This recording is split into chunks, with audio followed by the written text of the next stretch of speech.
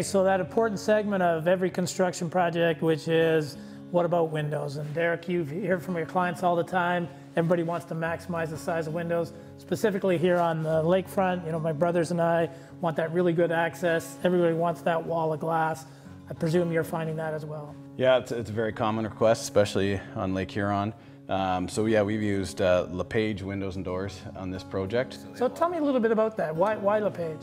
Um, they're a great Canadian company. Uh, we have a, a, local supplier, Van Doller's window, Windows and Doors, and uh, um, we've had a lot of good luck with them. Their patio doors uh, work really well. The windows are very airtight, and they have a lot of different glass options. So those glass options we'll talk about in a second, but let's go back to that, that construction.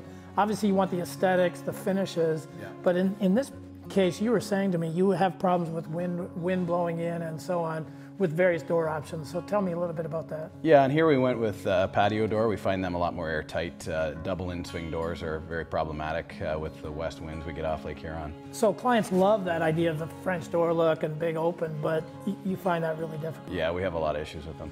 And So LePage has just been a really good company to work for. We talked about window coatings.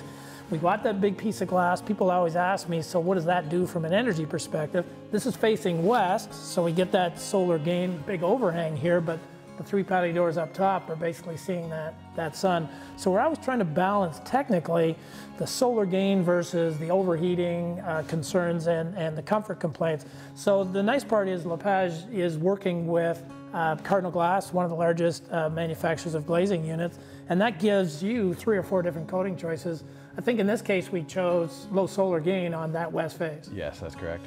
And it all goes into the energy model, so we work through that to figure out the right mix of, of glass um, on that side to, to maximize the solar gain in the, in the wintertime, but to reduce it in the, in the summertime. And so the weight of these, because we went to triples. Yeah, they Tell were. us about that. They were very heavy. There, we had uh, to make a little dolly system to get them around the house, and uh, they actually the upstairs ones we had to crane in into the upper deck.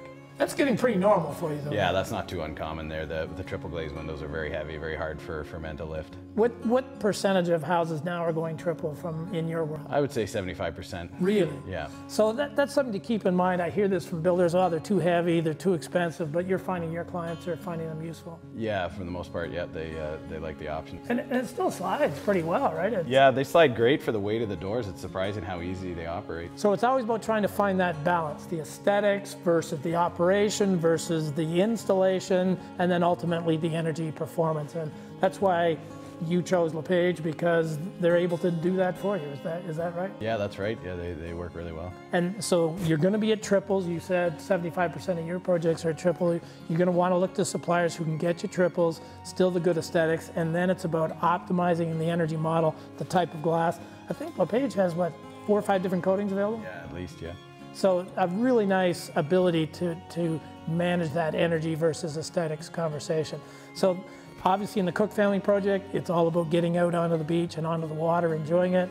We've got five of these giant sliders in this house, and it's gone very well. Yeah, yeah, it's been great. Hey, Derek, thanks very much for inviting Phil Barrick from LePage Windows up today just to help us through the, uh, the selection of doors and windows. Um, just help us understand how you choose a company like LePage when you start thinking about these kinds of projects. Sure. Yeah, we look at a lot of different products and uh, and uh, look at all the different features they have. So one of the reasons why we picked LePage for the patio doors at this project was the, the wood frame construction, a lot of different options for the glass types and styles, and the hardware styles. Great. And Phil, uh, thanks very much for coming, by the way. It's very Thanks kind for having me. Uh, just walk us through, you helped us in terms of choices, knowing that we were on the lake, we're trying to do net zero. A couple of things that you helped us with in terms of decisions.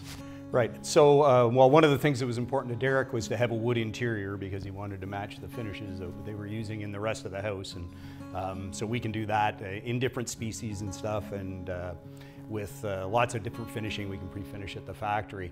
Um, what was really important here was the glass choices. So um, we're one of the few uh, wood window and door companies that can actually incorporate a true um, triple glazed uh, unit with half inch airspace. So what we do is we actually make the sash um, wider. It's two and a quarter inches wide instead of inch and three quarter. And that gives us a lot more glass options. That was important here. One of the things I really noticed standing here is we got waves crashing behind us. Pretty windy today and dead silence. Isn't that kind of cool? It's, it's such an important feature for us. We want to enjoy the waves some days so we can open, but other days we just want to have it peace and quiet. Yeah, so uh, as well as you know the added value of the uh, of the energy efficiency of that glass is the, is the silence is a really nice thing that comes in. So let's talk about that. It is triple with true half inch airspace, argon filled. Argon filled, two coats of soft coat low E, uh, 272 from Cardinal. Right, and then managing that solar gain. Here we're west face. We've got good overhangs, but upstairs not so much. So we really want to, ma to uh, manage that solar gain. Absolutely, because in the summer here, and especially facing the way you are, you're going to get a lot of heat buildup. So that uh, that 272 glass really helps to uh, reduce the solar gain in the house. So so your air conditioning doesn't have to work so hard. And Derek, you must have felt it. I mean, the pretty heavy windows. Help me yeah. with that. Very solid. Uh, yeah, very heavy installing them and nice and solid. So they seem like they're well built. And that Cardinal glass, I'm a big fan of Cardinal glass. They have great choices. How many different coatings would you have available to you, Phil? Um, from Cardinal, we have three, and then we also deal with some other companies as well. And uh, you know, really, depending on what the project is and what the specifications are, we can access glass from a lot of different companies uh, because we make our own glass. Actually, we have a, a, glass factory where we produce our own sealed units, uh, so we're not just locked into one manufacturer's type of glass. Is one of the advantages of dealing with us. And then in terms of air tightness, Derek, you're always concerned about that, but clearly these windows have given you a good opportunity to meet your air tightness objectives. Yeah, they seem to seal up really tight. You were telling us last time the choices off the lake are limited. A lot of people like the garden doors, the swing open garden doors. Just walk through the patio door choice. Yeah, we've always found the double in swing doors. We have a lot of problems with them on the lake with the wind pressure, so we much prefer patio doors. These ones seal up really nice. So we've had a lot of good luck with them. Let's just open up. Uh, Phil, I wouldn't mind hearing, see if we could hear those waves today. So there's the difference. And as Derek was saying, air tightness, well, if you're not hearing any sound, there's a pretty good chance you're also not having much air coming through there.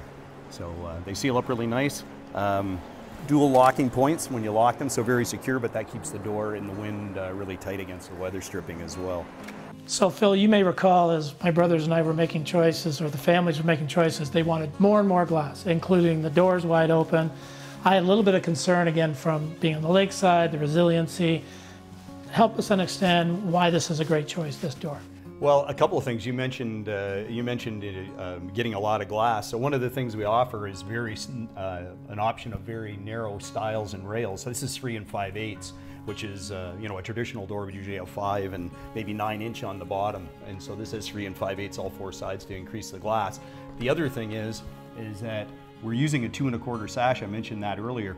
This allows us to, you know, the door to have a lot of strength and durability, but also allows us to get that thick uh, glass pack in there with the, uh, with the triple glazing as well. And then it's got a multi-point lock system. It does. So um, one of the things that's important when you're on the water like this, and these are some of the highest wind loads in Ontario right here where we are, is that when you engage the multi-point lock, it's going to lock the door in the center, but it's also going to drive a bolt to the top and to the bottom to keep the door tight against the weather strip. Um, so you don't have air infiltration or water infiltration, which can be a real problem here in this location. You were saying uh, when you test for impact resistance, because you do have impact resistant doors, no way to pass without the triple point. That's right, because um, uh, if you don't have the lock into the head and into the sill at the bottom, um, you know, there's enough movement in that door that it won't meet the hurricane wind loads that we need to meet when we're on the East Coast, for instance. And uh, we have similar wind loads here in Ontario in this location. Although it does create some challenges, as my brothers and I went through, we were kind of thinking about keyless entry. You know, people don't have to worry about keys, different families can't get keyless entry, at least not at this point, because of the strength of that lock. That's right. Right now, there really isn't any keyless entry that can lift this mechanism to put it in uh, and and pull it down to uh, to engage and disengage the lock. So a lot of times, people put the keyless entry maybe in the garage to house door where that door is protected and it doesn't have a multi-point lock on it; just has more of a standard lock. Fair enough. So, but we chose that. Uh, you know, from my perspective, the theme was resiliency, airtightness, quiet, as we've already noted and, and so you give and take a little bit in terms of technologies. Yeah, there's always compromises when you're building, isn't there, Gord? Right. So I really appreciate, Phil, uh, the, the work that LePage is doing right there out of, uh, out of Quebec. Uh, really nice high-end doors that maintain what I love is the aesthetics. You don't have to compromise on aesthetics to get that high performance.